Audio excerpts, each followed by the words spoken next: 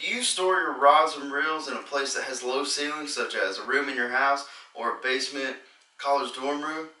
Well, I got the video for you because today I will be going over how to take your rod storage from this to this.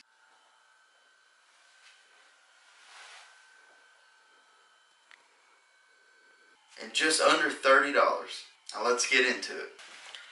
Now, as I was getting more and more rods and reels, I started to think, how am I going to store these? I can't. I have low ceilings. I can't really stand them up, and I don't want to stand them in a corner and leaned up, as you saw earlier, all tangled up and just a mess. So I started thinking, started looking online at Bass Pro Shops, Dick's Sporting Goods Academy for some kind of rod holder that I could put on my wall to hold my rods. And quite frankly, the ones that I found were way too expensive. Well, I came up with this solution.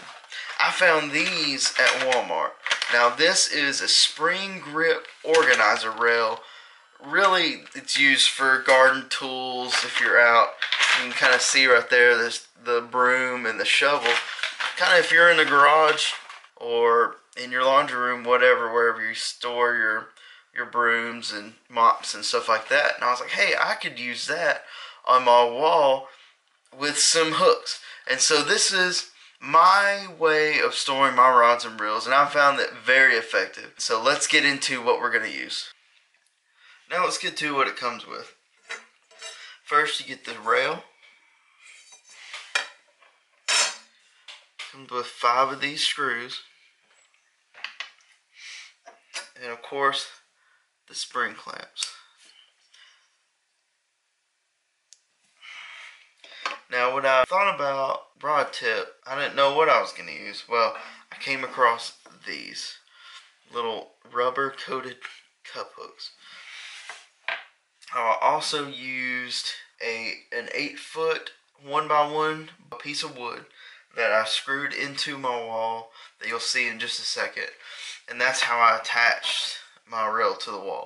Now, if you live in somewhere where you can't put holes in walls, you can also use heavy duty command strips and command hooks. Now let's get to what this is going to look like. Now as you can see, this setup is great for keeping your rods tangled free. Now I also have rod socks that I usually put on my rods when I travel and I also like to keep them on when they're on the wall so that the line doesn't get tangled on in these hooks when I take it off and also when I'm putting them back on. Now when I originally did, did this kind of setup, I had them all facing one way, just like these two. Now once I started getting more rods and I needed more room, I decided let me get two of these rails, let's do them both ways. And so that's what I'm going to do today. Now let's go ahead and get into how I put it together. As you can see, I already have my two pieces of wood that I've screwed to the wall and I also went ahead and painted them white with some primer spray that I had laying around. Now I'm going to go ahead and put the rails on and measure out where the spring clamps and the hooks need to go. After all that's done, I'll show you what it looks like and I'll kind of go into more detail on how I did it.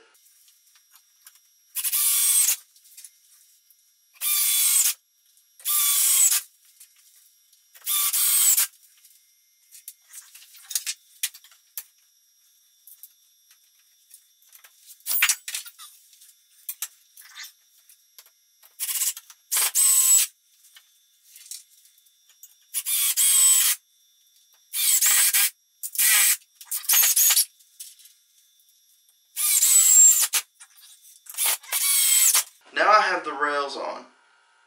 Now how I measure out where I'm going to put the clamps and the hooks, I take a hook clamp, I slide it on there, take a rod and put it on there and measure kind of eyeball where the reel's going to sit with the hook to where they're not going to touch each other. You're not going to get any interference when you're taking the rod off, also putting it on. Same over here. I measure out with my rod where the tip's going to go so I know if I'm going to take it off without interfering with the reel or not, such as this right here. You can kind of see the hook is placed where you're not going to hit the reel. Now with the clamps of what I've done, I've taken some plastic dip and I've sprayed them. Now what you now for those who don't know what plastic dip is, it's a it's a rubber coating that comes either in a can that you can actually dip it in or spray such as what I had to kind of coat the outside of the metal to make it more rubbery, soft resistance. Now hopefully you won't tear up the foam grips on your rods. Now how I set it up was my carport outside has three poles hanging holding it up. I took a piece of rope, I tied it to two ends of tied it to one of the two poles and I strung this through it through this part. Now, then I just sprayed it. Now, there's a million different ways you can do these. That's just how I did it. You can take upon yourself either even to do the plastic dip or not. That's just something extra that I did to help protect the foam grips on my reels. Now I'm going to take these, I'm going to measure it out. I'm going to get one set done, and then I'll show you a close-up, and then I'm going to finish it up, and then show you what it's going to look like.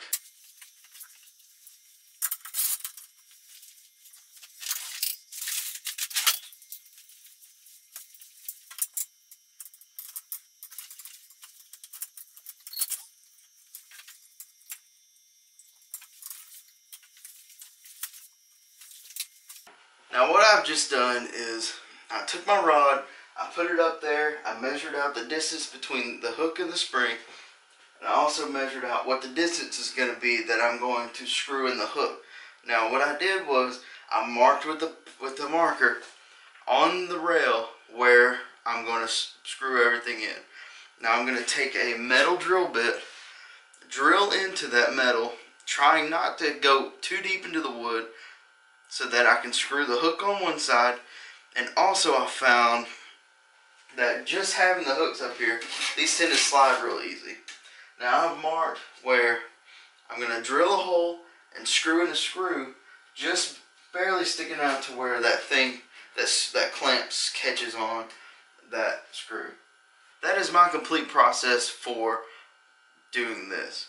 I'm going to finish doing one hole rod and I'll show you what it looks like. Now this is what it looks like close up. I have my I have my rail on the wall. I've got my clamp on. I've my, got my screw right there. So as you can see, that clamp isn't going anywhere. Now on the other side, you see I have my rail on and I have my hook.